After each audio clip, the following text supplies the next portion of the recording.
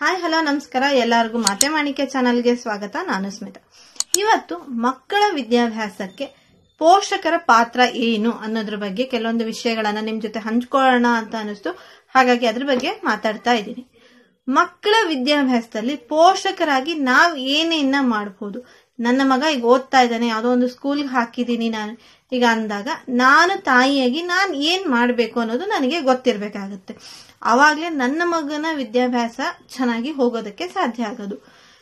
ನಾನು ಟೀಚರ್ ಆಗು ನೋಡಿದೀನಿ, ಈಗ ಮಗನ ತಾಯಿಯಾಗಿನೂ ಸಹ ನೋಡ್ತಾ ಇರೋದ್ರಿಂದ ಈ ಕೆಲವೊಂದು ವಿಷಯಗಳನ್ನ ನಿಮ್ ಜೊತೆ ಹಂಚ್ಕೊಳ್ಳೋಕೆ ಇಷ್ಟಪಡ್ತಾ ಇದೀನಿ. ಲಕ್ಷ ಲಕ್ಷ ಗಂಟ್ಲೆ ನಾವು ದುಡ್ಡು ಕಟ್ಟಿದೀವಪ್ಪ ಅಥವಾ ಸಾವಿರಾರು ದುಡ್ಡು ಕಟ್ಟಿದೀವಿ. ಅಲ್ಲಿ ಕಳಿಸ್ತಾ ಇದೀವಿ, ಇನ್ನೇನು ನಾವು ವಿದ್ಯಾಭ್ಯಾಸದ ಬಗ್ಗೆ ಯೋಚನೆ ಮಾಡೋದು ಅಂತ ಅನ್ಕೊಂಡಿದ್ರೆ ಖಂಡಿತ ಅದಕ್ಕಿಂತ ದೊಡ್ಡ ತಪ್ಪು ಇನ್ನೊಂದು ಇಲ್ಲ. ಮಕ್ಳಿಗೆ ನೀವು ಎಷ್ಟೇ ದುಡ್ಡು ಕೊಟ್ಟು ಸ್ಕೂಲ್ ಕಳಿಸಿ ಏನೇ ಮಾಡಲಿ. ಆದರೆ ತಾಯಿಯಾಗಿ, ತಂದೆಯಾಗಿ ಅಥವಾ ಪೋಷಕರಾಗಿ ನಮ್ಮ ಜವಾಬ್ದಾರಿನೂ ಮಕ್ಕಳ ವಿದ್ಯಾಭ್ಯಾಸದಲ್ಲಿ ಇದ್ದೇ ಇರುತ್ತೆ. ಮಕ್ಕಳಿಗೆ ಎಲ್ಲಾನು ಬರುತ್ತೆ ಅಂತ ಇಲ್ಲ. ಈಗ ನೀವು ಲಕ್ಷ ಗಂಟ್ಲೆ ಕೊಟ್ಟು ಸ್ಕೂಲ್ ಕಳಿಸಿದ್ರೆ ಒಂದು ಸ್ಕೂಲಲ್ಲಿ ಒಂದು ಬಿಲ್ಡಿಂಗ್ ಅಲ್ಲಿ ಅಥವಾ ಒಂದು ಕ್ಲಾಸ್ ಅಲ್ಲಿ ಎಷ್ಟು ಜನ ಇರ್ತಾರೆ? ಒಂದು ಕ್ಲಾಸ್ ಅಲ್ಲಿ ಒಬ್ಬ ಟೀಚರ್ಗೆ ಸಿಗೋದು ನಲವತ್ತೈದು ನಿಮಿಷ ಮ್ಯಾಕ್ಸಿಮಮ್ ಒನ್ ಅವರ್ ಸಿಗುತ್ತೆ. ಆ ಒಂದು ಪೀರಿಯಡ್ ಅಲ್ಲಿ ಮಗುಗೆ ಎಷ್ಟು ಹೇಳ್ಕೊಡೋದಕ್ಕೆ ಸಾಧ್ಯ ಒಬ್ಬ ಟೀಚರು? ಎಷ್ಟು ಜನಕ್ಕೆ ಹೇಳ್ಕೊಡ್ತಾರ? ಅಲ್ಲಿ ಅರವತ್ ಜನ ಇರ್ತಾರೆ. ಅರವತ್ ಜನಕ್ಕೂ ಒಬ್ಬೊಬ್ರ ಹತ್ರನು ಹೋಗಿ ಅವ್ರಿಗೆ ಹೇಳ್ಕೊಡಕ್ ಸಾಧ್ಯನೇ ಇಲ್ಲ. ಪ್ರಾಕ್ಟಿಕಲಿ ಯೋಚನೆ ಮಾಡೋಣ. ಮನೆಯಲ್ಲಿ ನಮ್ಗೆ ಒಂದು ಮಗು ಇದ್ದಾಗ್ಲೇ ಅದನ್ನ ಹೇಳ್ಕೊಡೋದಕ್ಕೆ ನಾವು ಅಷ್ಟು ಕಷ್ಟ ಪಡ್ತೀವಿ ಅಂದಾಗ, ಅಲ್ಲಿ ಅವ್ರ ಅರವತ್ತು ಜನಕ್ಕೂ ಹೇಳ್ಕೊಡ್ಬೇಕಾದ್ರೆ, ಒಂದ ಒಬ್ಬೊಬ್ ಮಕ್ಳಿಗೆ ಹೇಳ್ಕೊಡಕ್ ಆಗಲ್ಲ ಇವತ್ತೊಂದಿನ ಹತ್ತು ಜನಕ್ಕೆ ಹೇಳ್ಕೊಟ್ರೆ ನಾಳೆ ಇನ್ನ ಹತ್ತು ಜನಕ್ಕೆ ಹೇಳ್ಕೊಡ್ತಾರೆ. ಈ ತರ ಮಾಡ್ತಾ ಇರ್ಬೇಕಾರೆ ಅವ್ರಿಗೆ ಎಷ್ಟು ಟೈಮ್ ಬೇಕಾಗತ್ತೆ ಅನ್ನೋದು ಒಂದು ನಮಗೆ ಯೋಚನೆ ಇರಬೇಕಾಗತ್ತೆ. ಹಾಗಾಗಿ ನಮ್ಮ ಮಗು ಚೆನ್ನಾಗಿ ಓದ್ಬೇಕು ಅಂದಾಗ ನಾವು ಸ್ವಲ್ಪ ಪರಿಶ್ರಮನ ಹಾಕ್ಲೇಬೇಕಾಗತ್ತೆ. ಏನ್ ಪರಿಶ್ರಮ ಹಾಕೋದು ಅಂದಾಗ ಮೊದ್ಲು ಇಲ್ಲಪ್ಪ ನಾವು ಕೆಲ್ಸಕ್ಕೆ ಹೋಗ್ತಾ ಇದೀವಿ, ನಮ್ಗ ಆಗಲ್ಲ, ಸುಸ್ತಾ ಬಂದಿರ್ತೀವಿ ಮ್ಯಾಮ್. ನಮ್ಮಿಂದ ಏನೂ ಮಾಡಕ್ ಆಗಲ್ಲ. ಪ್ರತಿಯೊಬ್ರು ಕೆಲ್ಸಕ್ಕೆ ಹೋಗೇ ಹೋಗ್ತೀವಿ, ಇಲ್ಲ ಅಂತಲ್ಲ. ಮನೆಯಲ್ಲಿರೋರು ಅವ್ರಿಗೂ ಮನೇಲಿ ಕೆಲ್ಸಗಳು ಇದ್ದೇ ಇರುತ್ತೆ. ಬೆಳಗ್ಗೆಯಿಂದ ಸಾಯಂಕಾಲದವರೆಗೂ ಕೆಲಸ ಮಾಡಿದ್ರು ಮುಗಿದೇ ಇರೋಷ್ಟು ಕೆಲಸ ಯಾವಾಗ್ಲೂ ನಮ್ಗಿರುತ್ತೆ. ಆದ್ರೆ ಅದನ್ನ ಟೈಮ್ ಮ್ಯಾನೇಜ್ಮೆಂಟ್ ಅನ್ನೋದಿದೆಲ್ಲ ಅದನ್ನ ಮಾಡ್ಲೇಬೇಕು. ನಮ್ಮ ಮಕ್ಕಳಿಗೆ ನಾವು ಇಷ್ಟು ಟೈಮ್ ಅನ್ನೋದನ್ನ ಇಡ್ಬೇಕು. ಎಕ್ಸಾಂಪಲ್ ಈಗ ನಿಮ್ಮ ಮಗ, ಅಥವಾ ನಿಮ್ಮ ಮಗಳು L K G, U K G ಅಥವಾ ನರ್ಸರಿ ಸೆಕ್ಷನ್ ಅಲ್ಲಿ ಓದ್ತಾ ಇದ್ರೆ ಅವ್ರಿಗೆ ದಿನಕ್ಕೆ ಸ್ಕೂಲ್ದೆಲ್ಲ ಆಗಿನೂ ನೀವು ಕುತ್ಕೋಬೇಕಾಗಿರೋದು ಪೇರೆಂಟ್ಸ್ ಆಗಿ ಕುತ್ಕೋಬೇಕಾಗಿರೋದು ದಿನಕ್ಕೆ ಮ್ಯಾಕ್ಸಿಮಮ್ ಅರ್ಧ ಗಂಟೆ ಕುತ್ಕೊಳ್ಳಿ, ಬೇಕಾದಷ್ಟು ಆ ಮಕ್ಕಳಿಗೆ ಅರ್ಧ ಗಂಟೆ ನೀವು ಆ ಮಕ್ಳ ಜೊತೆ ಕುತ್ಕೊಳ್ಳಿ. ಆದ್ರೆ ನಾನು ಕೊನೆಯಲ್ಲಿ ಒಂದು ಹೇಳ್ತೀನಿ, ಈಗಲೇ ಹೇಳೋದಿಲ್ಲ ಕೊನೆಯವರೆಗೂ ವಿಡಿಯೋ ನೋಡಿ. ಕೆಲವೊಂದು ನನ್ನ ಸ್ವಂತ ಎಕ್ಸ್ಪೀರಿಯನ್ಸ್ ಇದೆ, ನಾನು ಅದನ್ನ ನಿಮ್ ಜೊತೆ ಶೇರ್ ಮಾಡ್ತೀನಿ. ಆವಾಗ ಸೊ ಅರ್ಧ ಗಂಟೆ ಆ ಮಕ್ಳಿಗೆ ಕೊಡಿ. ಈಗ ಒನ್ ಟು ಫಿಫ್ತ್ ಮಕ್ಕಳಾಗಿದ್ರೆ ಮಿನಿಮಮ್ ಅಂದ್ರೂ ಒನ್ ಅಂಡ್ ಹಾಫ್ ಅವರ್ನ ಕೊಡಿ. ಸಾಕು ಒನ್ ಅಂಡ್ ಹಾಫ್ ಅವರ್ ಅವ್ರಿಗೆ, ನಿಮ್ಮ ಒನ್ ಅಂಡ್ ಹಾಫ್ ಅವರ್ನ ಅವ್ರಿಗೆ ಕೊಡಿ. ಇನ್ನು ಹೈಸ್ಕೂಲ್ ಮಕ್ಕಳು ಅಂದ್ರೆ ಸಿಕ್ಸ್ತ್ ಇಂದ ಟೆಂತ್ ವರ್ಗೂ ನಿಮ್ ಮಕ್ಳು ಇದ್ರೆ ನಿಮ್ಮ ಟೂ ಟು ತ್ರೀ ಅವರ್ಸ್ನ ಮಕ್ಳಿಗೆ ಅಂತಾನೆ ಇಡಿ. ಅದನ್ನ ಒಂದೇ ಸ್ಲಾಟ್ ಅಲ್ಲಿ ಇಡಬೇಕು ಅಂತ ಇಲ್ಲ. ನೀವು ರಾತ್ರಿನೇ ಓದಿಸ್ಬೇಕು, ಬೆಳಗ್ಗೆನೆ ಓದಿಸ್ಬೇಕು ಅಂತಿಲ್ಲ. ಬೆಳಗ್ಗೆ ಒನ್ ಅಂಡ್ ಹಾಫ್ ಅವರ್ ಓದಿಸಿ ರಾತ್ರಿ ಒನ್ ಅಂಡ್ ಹಾಫ್ ಅವರ್ ನೀವು ಅವ್ರ ಜೊತೆ ಇರಿ. ಖಂಡಿತ ಅವ್ರಿಗೆ ಹೆಲ್ಪ್ ಆಗತ್ತೆ. ಅವರು ತುಂಬಾ ಚೆನ್ನಾಗಿ ಇಂಪ್ರೂವ್ ಆಗ್ತಾರೆ. ನಮ್ಮ ಅಪ್ಪ ಅಮ್ಮಂಗ್ ಗೊತ್ತು, ನಾನು ಏನ್ ಓದ್ತಾ ಇದ್ದೀನಿ ನಮ್ಮ ಅಪ್ಪ ಅಮ್ಮ ನೋಡ್ತಾರೆ ನನ್ನ ಬುಕ್ನ ಚೆಕ್ ಮಾಡ್ತಾರೆ ಅನ್ನೋದಿರುತ್ತಲ್ಲ ಅದಕ್ಕಿಂತ ಇನ್ನೊಂದಿಲ್ಲ. ಸಾಮಾನ್ಯವಾಗಿ ಸ್ಕೂಲ್ಗಳಲ್ಲಿ ಬರೋದೇನು ಅಂದ್ರೆ, ಅಪ್ಪ ಅಮ್ಮ ನೋಡಿರೋದಿಲ್ಲ. ಏನು ಬುಕ್ಸ್ ತೆಗೆದು ನೋಡಿರಲ್ಲ.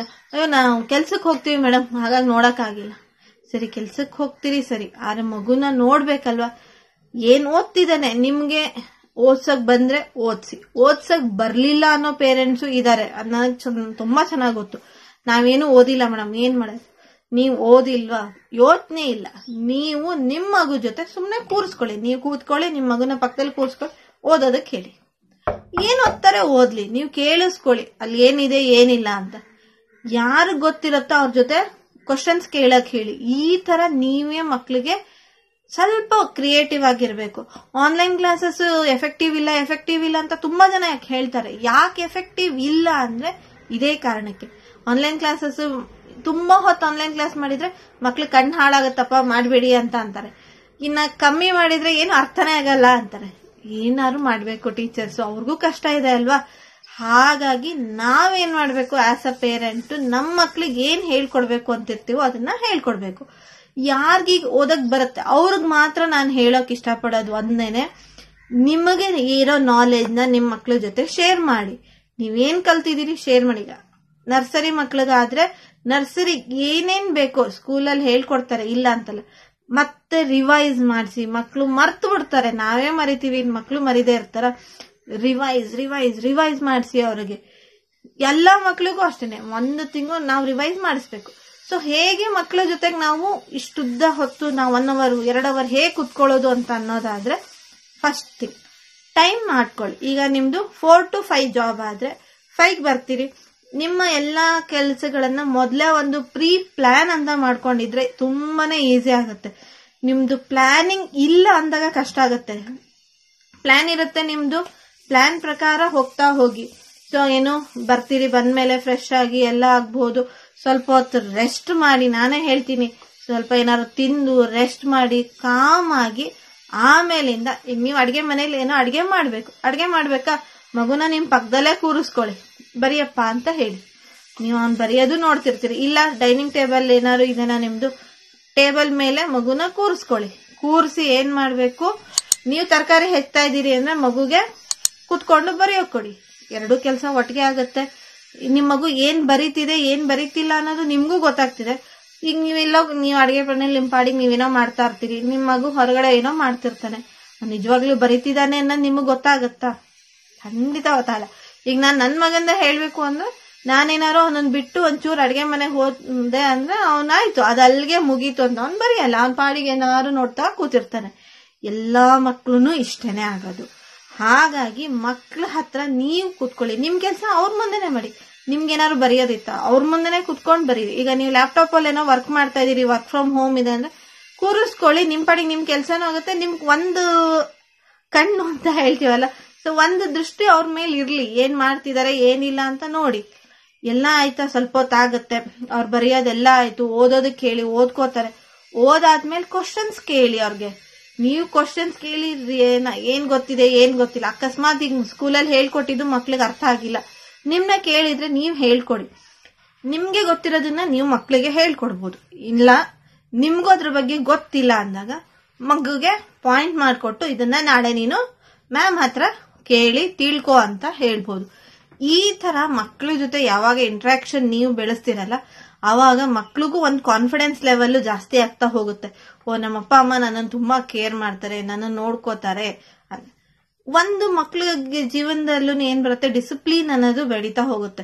ಕರೆಕ್ಟ್ ಆಗಿ ಮಕ್ಳು ಹೋ ನಮ್ಮ ಅಪ್ಪ ಅಮ್ಮ ನನ್ನ ಜೊತೆ ಇದಾರಪ್ಪ, ಅವ್ರು ನೋಡ್ಕೋತಾರಪ್ಪ, ನನ್, ನಾನು ಏನ್ ಓದ್ತೀನಿ, ಏನಿಲ್ಲ ಅನ್ನೋದು ಅಬ್ಸರ್ವ್ ಮಾಡ್ತಾರೆ ಅನ್ನೋದು ಅವ್ರಿಗೂ ಬರುತ್ತೆ.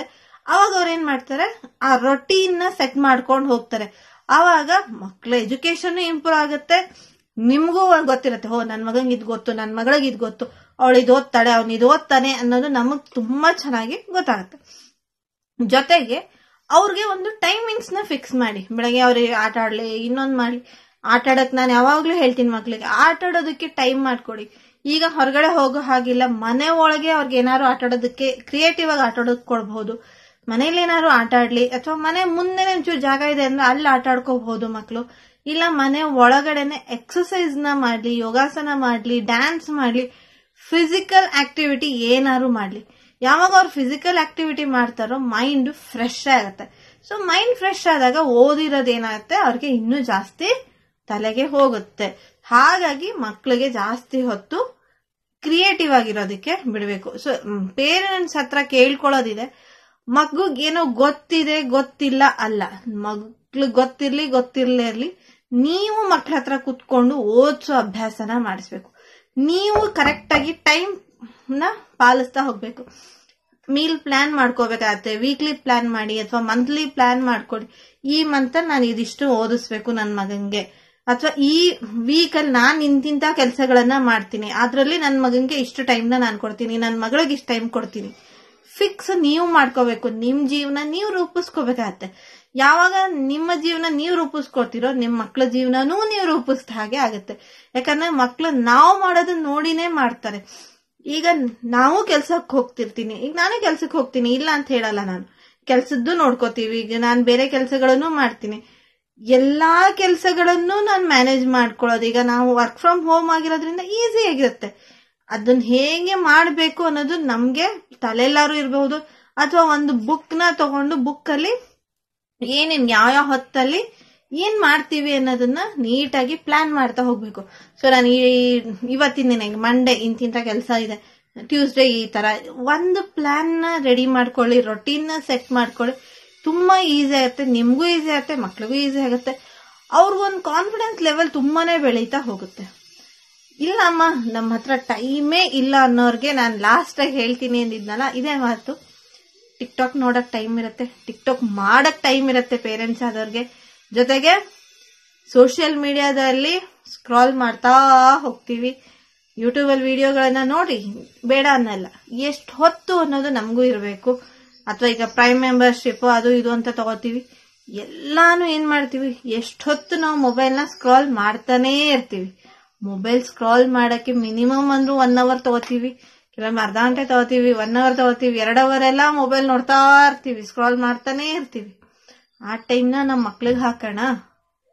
ಬೇರೆ ಯಾರಿಗೂ ನಾವು ಕೊಡ್ತಾ ಇಲ್ಲ ನಮ್ಮ ಟೈಮ್ನ ನಮ್ಮ ಮಕ್ಳಿಗೆ ಕೊಡ್ತಾ ಇದೀವಿ. ನೀವು ಫ್ರೀ ಇದ್ದಾಗ ನೋಡಿ ಸೋಷಿಯಲ್ ಮೀಡಿಯಾ ತಪ್ಪಿಲ್ಲ ಅಡಿಕ್ಟ್ ಆಗೋದ್ ಬೇಕಿಲ್ಲ. ಸೊ ಎಷ್ಟು ಸೋಷಿಯಲ್ ಮೀಡಿಯಾದಿಂದ ದೂರ ಹೋಗ್ತೀವೋ ಅಷ್ಟು ಟೈಮ್ ತುಂಬಾ ಸಿಗತ್ತೆ. ಸೋಷಿಯಲ್ ಮೀಡಿಯಾದಲ್ಲಿ ಹೇಗೆ ಅಂದ್ರೆ ಈಗ ಫೇಸ್ಬುಕ್ ಆಯ್ತು ಇನ್ಸ್ಟಾಗ್ರಾಮ್ ಆಯ್ತು, ನೋಡ್ತಾ ಹೋಗ್ತಾ ಇರ್ತೀವಿ. ನೋಡ್ತಾನೇ ಇರೋಣ ಅನ್ಸುತ್ತೆ. ಒಂದಾದ್ಮೇಲೆ ಇನ್ನೊಂದು ತುಂಬಾ ಚೆನ್ನಾಗಿ ಅನ್ಸುತ್ತೆ, ಇನ್ನೊಂದಾದ್ಮೇಲೆ ಇನ್ನೊಂದು ಚೆನ್ನಾಗಿ ಅನ್ಸುತ್ತೆ. ಟೈಮ್ ಹೋಗಿದ್ದೇ ಗೊತ್ತಾಗಲ್ಲ. ಸೊ ಆ ಟೈಮ್ನ ಉಳಿಸ್ಕೊಂಡು, ಮಕ್ಳಿಗೆ ಹಾಕೋಣ. ಖಂಡಿತ ನಮ್ಮ ಮಕ್ಕಳು ಅವಾಗ ಇಂಪ್ರೂವ್ ಆಗೇ ಆಗ್ತಾರೆ. ನಮ್ಮ ಮಕ್ಕಳು ಬೆಳೆದ್ರೆ ನಮ್ಗೆ ಒಳ್ಳೇದು ಅಂತ ಹೇಳ್ತಾ ಈ ಮಾತನ್ನ ಇಲ್ಲಿಗೆ ಮುಗಿಸ್ತೀನಿ. ನಿಮ್ಗೆ ಏನ್ ಅನ್ಸುತ್ತೆ ಅನ್ನೋದನ್ನ ದಯವಿಟ್ಟು ನಂಗೆ ಕಮೆಂಟ್ ಮಾಡಿ ತಿಳಿಸೋದನ್ನ ಮರಿಬೇಡಿ. ನಮಸ್ತೆ.